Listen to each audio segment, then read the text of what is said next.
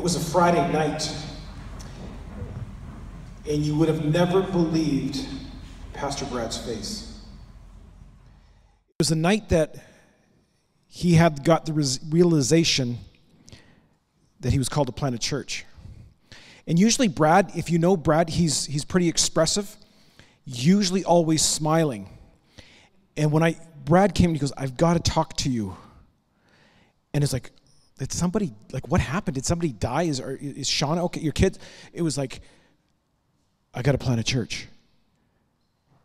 And it was just this, like, something just happened to me. Can we talk? And that was the first time that we began to talk about Manifest. And what's exciting for me is that was three years ago. And the reality is, what I do is I help start churches in Alberta and come alongside guys like Brad that says, I've been called to plant a church. And, and what we don't, I don't recruit, I don't plant churches, but I believe that Jesus tells church planters, I want you to go do this, and they follow him and do it. And so it, it's exciting to be here because this was just something that God's doing. It's nothing that I've done or Brad's done. It's just Jesus is doing it through people. And so uh, it's good to be here, and it's good to see so many new people. Um, I've been here number of times, and there's people that I've never seen before, so it's good to be here. Let me um, pray, and then we'll get started. Father, we come before you and we praise you because you are a good God. You are the God that loves us, and you are the God that initiates relationship with us. You've given us your word to know how for us to live so we can have a relationship with you so we know uh, who you are and how we can respond to you. So we thank you for your word. We thank you that you're a personal God. Jesus, we thank you that you came to this earth and you lived a perfect life, a life that we could not live. And then you, you died a death uh, in our place on our behalf. And Holy Spirit, you rose Jesus from the dead, and we praise you for that. And we pray for that Spirit now to teach us as we open your word, Father. And so we pray and thank you for each person that's here. May you help me as I express um, the thoughts that you've given me from your word. So, Jesus, uh, may you be honored and glorified here this morning. In your name, amen. Um, this morning, I want to talk to you about some awkward moments. And I don't know if you've ever had awkward moments at a dinner table. Anyone ever have awkward moments where somebody said something, you go, oh, they shouldn't have said that? Maybe it's when, you know, a family gathering, a wedding, um, or like one of your weird cousins. And I know none of us are the weird cousins, but you, everyone has those weird cousins or that weird uncle that shows up and they say things, or maybe they, they drink too much and they say things they shouldn't say. Um, somebody's laughing there. Maybe that was you. And, um, but the reality is, we, we've had those moments. Um, and sometimes I've uh, had the opportunity to MC weddings. And it's the weirdest thing at a wedding when someone gets up and they shouldn't be saying things that they're saying in front of all of these people. And because usually there's a diverse group of people. Um, and I, I, had this one, I was, person was up there, and I'm like, should I like cut this guy off or what? Because this is going really bad. Um, and many of you have probably experienced times like that. It's like, okay, this guy should just shut up. And, and hopefully that's not one of them right now. I'm, I'm, I'm hoping it won't be. Um, but this is kind of what, what happened. And I want to set the scene for what was happening in, in the text that we're going to look at today. And not that Jesus was that awkward person saying inappropriate things. Jesus was saying things that needed to be said that everyone was scared to say. And see, sometimes people have this idea of Jesus that he was this guy that was really passive, that walked around in a dress and was just really nice to people. And, and Jesus was really nice to people who were lost, who needed him, who needed his help, and says, I need help. But for the people that, that were steeped in religion, steeped in their own ways of doing things, he, would speak the truth.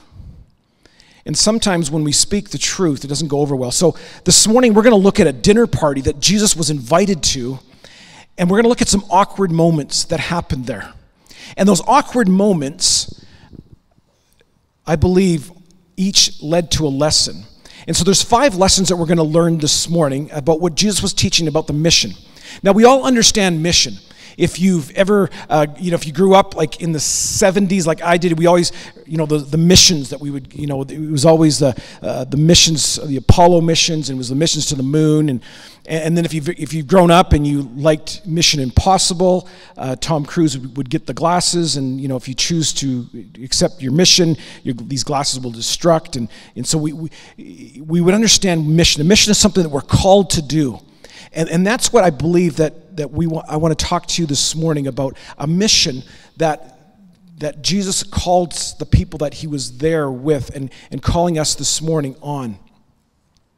And it happened through some awkward moments. So if you want to turn your, if you have a Bible or an app, uh, turn to Luke 14. Uh, it's about two thirds the way through your Bible to the right um, in the New Testament. And if you're just brand new at this, I'm so glad that you're here. And even if you're here and you don't even believe that, that there's a God yet, but someone brought you here or, or you, you know, you just really like Brad, so you're, you're here. Um, there's things here, even if you don't believe God, that there's things that you can take away and use tomorrow or this week or use in your family this week because the stuff that Jesus says is truth and it's it's golden. And so let's let's look at we're gonna we're gonna break this up into four parts. So it's it's again, Jesus has been invited to this this dinner party, and this is what happens. I'm going to start reading verse 1. One Sabbath, and that would be the Saturday, which the Jews sense was a day that you do no work. And he went to dine at the house of a ruler of the Pharisees. They were watching him carefully, and behold, there was a man before him who had dropsy. So it's the Sabbath the ruler of the Pharisees. And the Pharisees were the people that were the religious leaders of the day. They didn't like Jesus because Jesus kind of did things to, this, to them like this all the time, called them out on their stuff where they were wrong. And they couldn't, they were trying to trap him. And so they're having this dinner party, which they kind of invited all their friends. And they invited a man who's there with dropsy. Now, dropsy is a, is a disease that would cause parts of the body to swell, and it usually stemmed from a liver or a heart or a kidney disease. And so this person would have normally been asked to come to this party, but it looks like they set Jesus up because they were trying to trick him.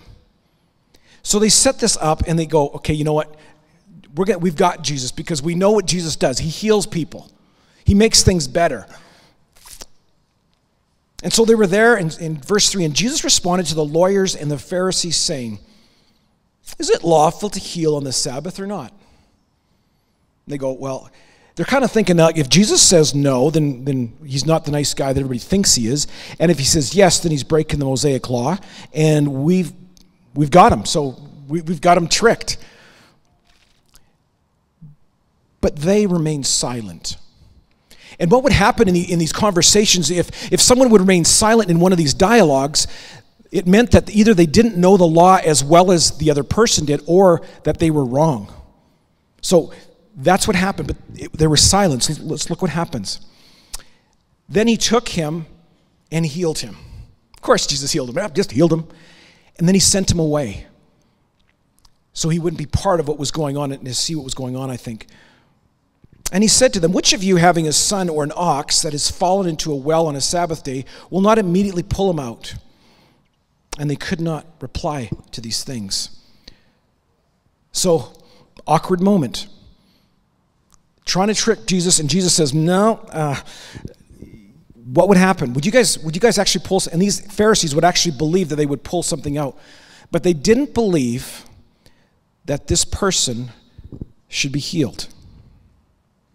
See, they were trying to figure out what God would do. See, the first lesson that we have here is lesson one, and it's compassion. You see, they thought that God so wanted them to, to obey the law that they wouldn't lift a finger and help a person on a day when they weren't supposed to work. You see, they were kind of going, okay, what would God want us to do? He'd want us to keep the Sabbath, so therefore we want to hurt, help this person. And Jesus came to show us what God was like. And he showed us that God was a God full of compassion compassion for people who are hurting, compassion for people who are at their ends, the limit of their life, who have no hope. He has compassion on those people. And I'm not sure, eh, like I said, if, if there's, I know there's new people to that that are uh, trying to understand God here, and that is awesome.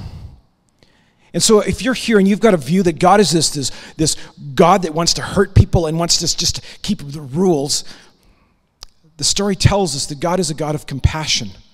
And maybe some of your thinking of how, how you've thought of God in the past as this harsh, unliving God is that He's actually very compassionate. And Jesus shows us that's the first that we learn here in the School of Mission. He says, But they remained silent. Then he took him and healed him and sent him away. See, Jesus has compassion. And I'm not sure where you're at today, whether you need physical healing, whether you need emotional healing, or whether you need just some other healing in your life that you're broken. God is a God of compassion. God initiates that with you. And maybe even you here being here today, He's initiated and say, Come, I want you to hear some, some news. I want to hear, I want you to hear that I'm a compassionate God. So that's the first lesson. That God is compassionate. The second that we learn of, of Jesus' school of mission is this. Let's keep reading. Verse 7. Now he told a parable to those who were invited. And when he noticed that they chose places of honor, saying to them, okay, again, here comes an awkward moment again. So, first awkward moment heals the guy who really needs healing. Then they're sitting around, and, and Jesus goes, I, I, I noticed how you all chose the places where you're going to sit. And it was very important in those days of where people actually sat. Because the closer you are to the person, the, the guest of honor and the, and the host, the more important you are.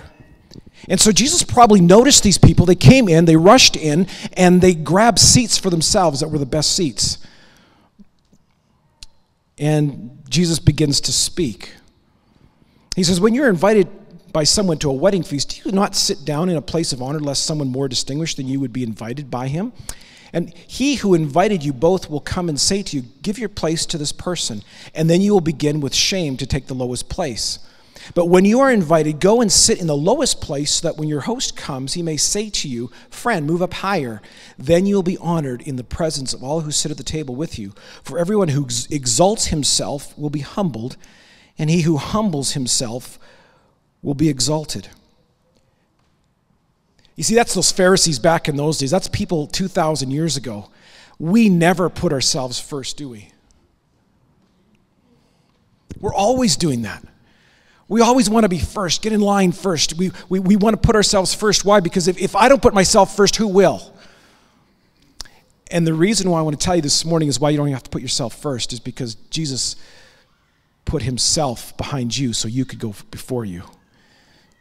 And that is a great, great um, truth, what Jesus did for us.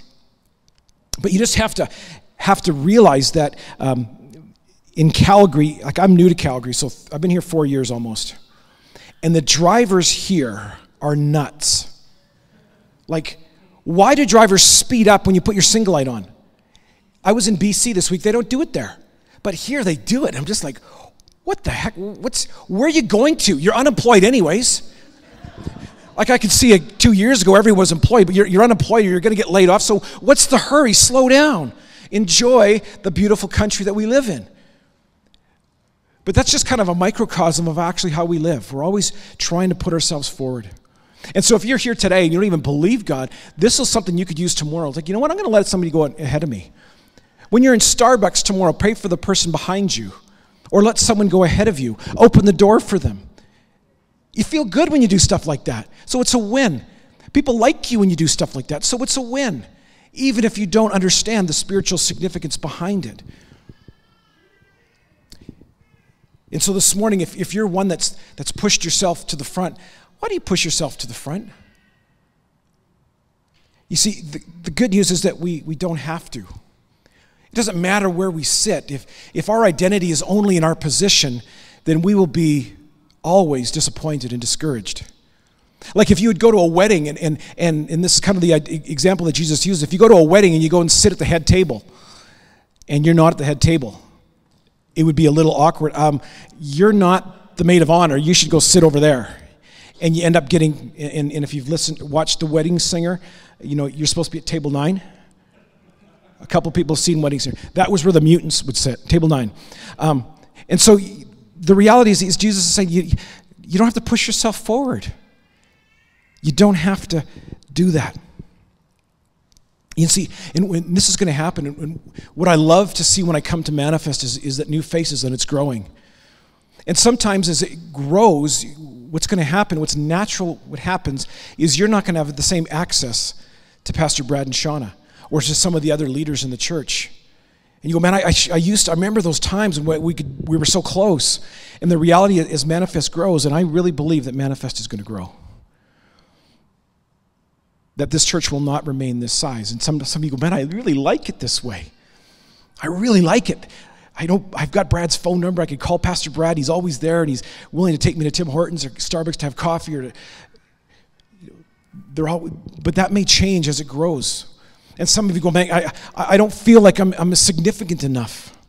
And what I want to say to you is, is don't let the enemy tell you that you're not significant or the, the role that you play doesn't matter.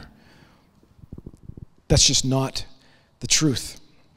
Because as, as you serve, you don't, need, you don't need anybody to say, good job. You don't need anybody. Why? Because Jesus says, in the end, for everyone who exalts himself will be humbled, and he who humbles himself will be exalted. So as you work behind the scenes, is you don't have to put yourself forward, say, look at me, look at me. Why? Because we follow the example of Jesus who, who came to this earth from heaven and humbled himself, taking the form of a servant. And even a person who was without sin did not deserve the cross that we, that, that what we celebrated at Easter time. Didn't deserve that, but yet took it. Why? For us. So, why can you put others first? Because Jesus put you first before himself. That's an example that we have, which is just absolutely unbelievable. Third awkward moment.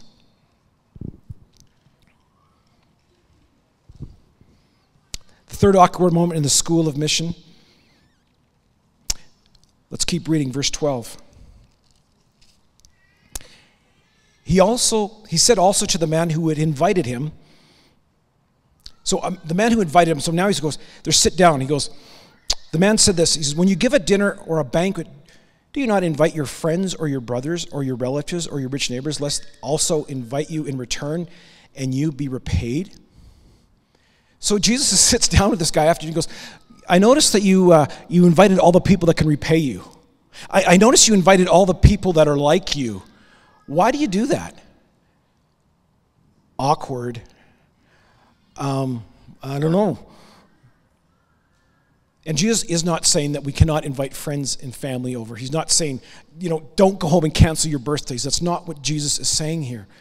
But he's saying this person, and, and, what would happen is they would invite people so they would get invited back. And sometimes they would even invite people that were just a little lower than them so they could kind of have brownie points. They kind of thought that they were a good person. But they would never invite someone who was really low on the social ladder. They just wouldn't do that. And so Jesus says this He says, But when you give a feast, invite the poor, the crippled, the lame, and the blind and you will be blessed because they cannot repay you, and you will be repaid at the resurrection of the just. So, lesson three is service. We can serve others. Why can we serve others? We can serve others because Jesus first served us. Jesus served us, showing us what it means to, to lay down himself for us. And so, even if you don't believe God, you take this to work tomorrow and you serve those that can't serve around you man, it feels good. People around will notice, people will, will like you, even, even if you're not doing it for the right reasons. The reality, this works even if you don't believe in God. But the reality is, most of us probably know a situation that you've been in where you kind of feel like you don't belong. And Jesus cares about those people who feel like they don't belong. When we moved to Calgary a number of years ago, uh, my oldest son, he was in grade seven.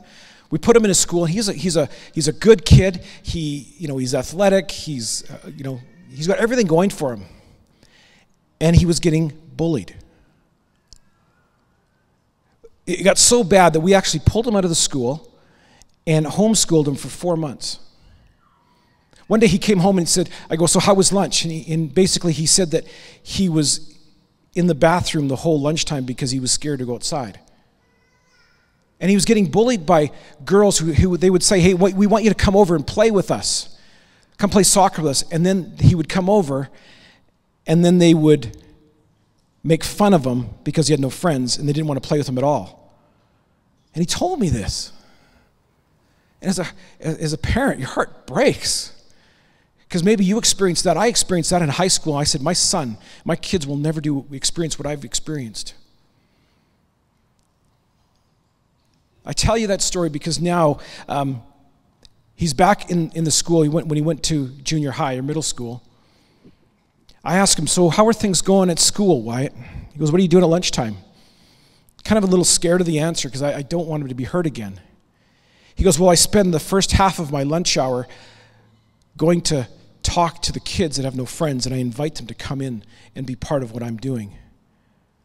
And I go, You're a way better Christian than I am, kid. Because we had the conversation of why would God allow that to happen to him? And now he's taken that and he's turned this. I, I don't want kids to feel like that because I was pretty arrogant before. And so sometimes it's easy to invite the people that, we, that are going to be like us, the, the people that are, that are easy to love. And Jesus is saying, don't just invite the people that are easy to love, invite the people that can never repay you. Do things for people that they will never ever give you. Like, how many people have friends that you've lent money to or kids that you've lent money to? You're not getting the money back. It's okay. It's okay. But he, he talks about the poor. If you invite poor people to your house, they may steal stuff. If you invite people who are lame and crippled and blind. They may knock things over, they may smell. But Jesus is saying, don't worry about that. You will be repaid when? Look what he says. And you will be blessed because they cannot repay you, for you will be repaid at the re- resurrection of the just. See, there, there, there's an end coming. And so, what I want to encourage you as you serve here, and especially those of you that have been here right from the beginning at Manifest, you have been serving and serving and serving.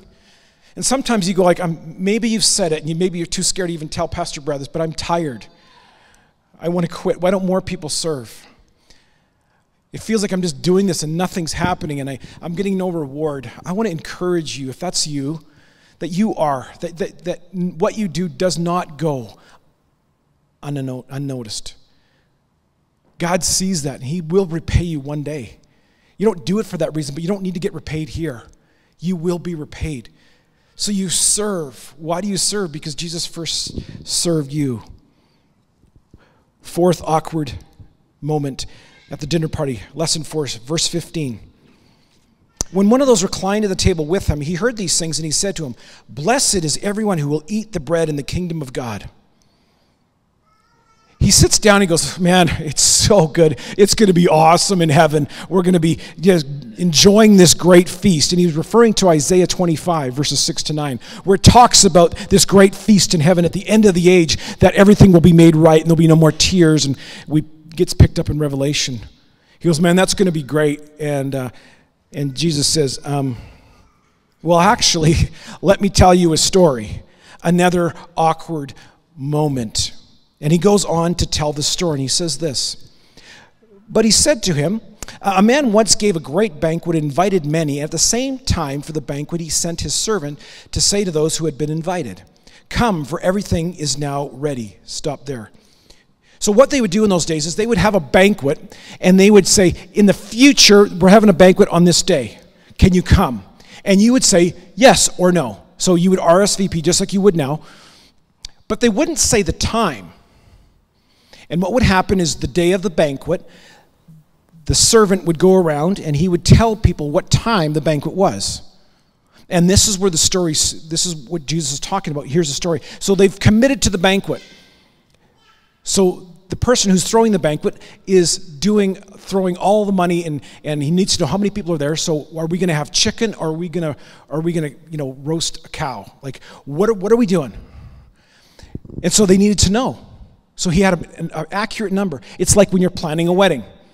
Like, if you've ever planned a wedding, you need to know who's there, RSVP, and make sure that everybody's there. And then maybe you're one of the piece, persons that gets a, an invitation a week before the wedding, and they tell you that they forgot it or something, or it was lost in the mail, but the reality is you were on the B list, and then you actually got invited at the end because they needed to fill the seats. That's kind of what's going to happen here. Just follow me, verse 18. But they all alike began to make excuses. And the first said to him, I've bought a field and I must go out and see it. Please have me excused. Well, if, if, if you've bought a field and you haven't seen it yet, you're not a very sharp business person. Like, really? You, you're going to go see the field now. You can afford the field, but you're not smart enough that you can actually see it beforehand. Lame excuse. Let's keep going. Verse 19. And another said, I have bought five yoke of oxen, and I, I, and I go to examine them. Please have me excused. Really? You bought five yoke of oxen. So 10 oxes, okay? You're a rich landowner. You, if you need that many oxen for that much property, you have servants, you have people working for you. You don't have anybody that can go and see if they're going to work. And it's this is late at night because the banquets were usually at night, and the people would not have time to even do that at night. Really, lame excuse. Verse 20. And another said, I have married a wife, and therefore I cannot come. So this guy pulls the wife card. Yeah, the wife, she won't let me go. I got married. Well, when you accepted the invitation, you knew you just didn't get married quickly. You knew it was a long time. You, you knew you were getting married. And the reality in those days, the women weren't invited to the feast, anyways. But he says, Yeah, the wife won't let me. So this is what happens. So the servant came and reported these things to the master. And then the master of the house became angry, and he said to his servant, Go out quickly to the streets and the lanes of the city, and bring in the poor and the crippled and the blind and the lame. And the servant said, Sir, you have commanded, has been done, and there's still room. So he says, Okay, the banquet's ready. We don't have enough people filled yet, so I want you to go out. So the servant goes out and begins to ask everybody, pull the people that really shouldn't be here pulling the poor and the crippled, the lame and the blind. And I want to, because I want to serve them. He says, but, but master, we've done that and it's still not full. And so the master said, Go to the servant, go to the highways and the hedges and compel people to come in, that the house may be filled. For I tell you, none of those men who were invited shall taste my banquet. So he says, Okay, it's not full, so go out and go out even further. And so he was referring to the, the lame and the crippled and the blind. They were probably Jewish people.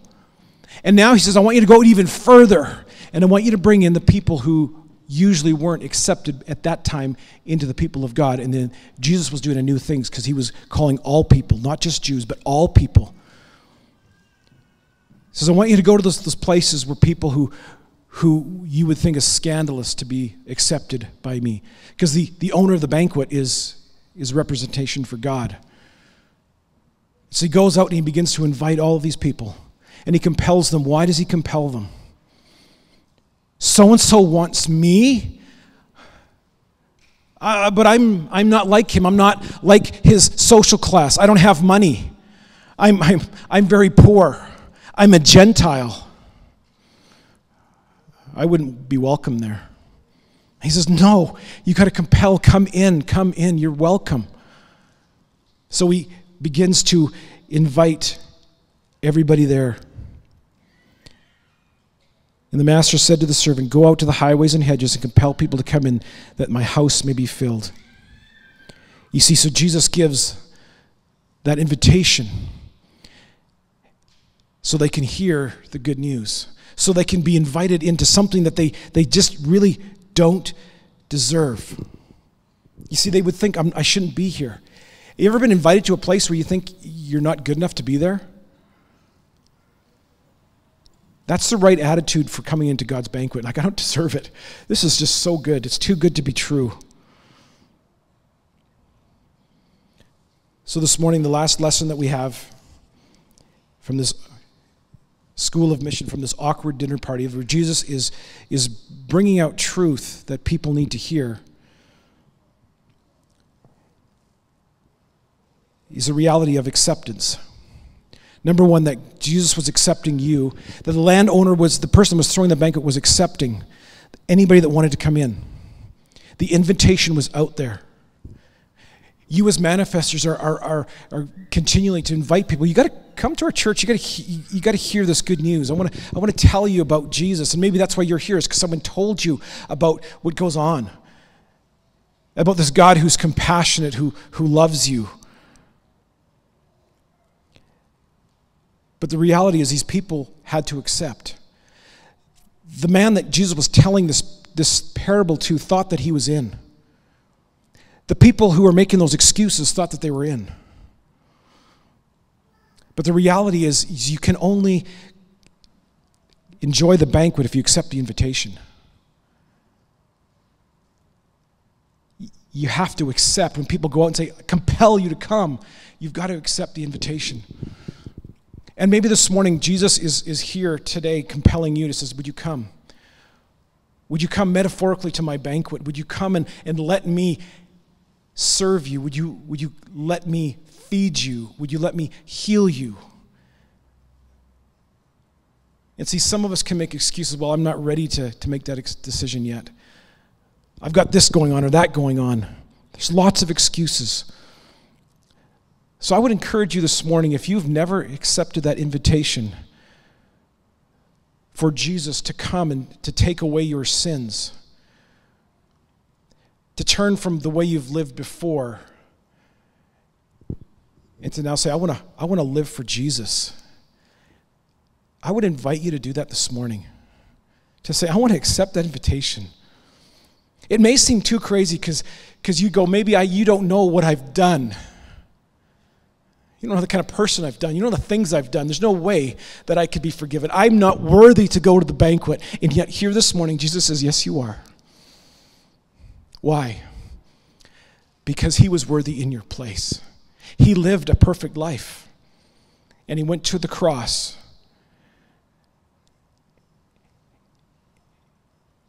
And the penalty and the punishment that we deserved for our sin, he placed upon his own son, Jesus.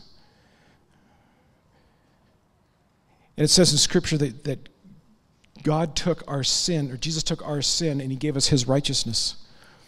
So the re- only reason why you can come to the banquet is because Jesus paid the full price for you.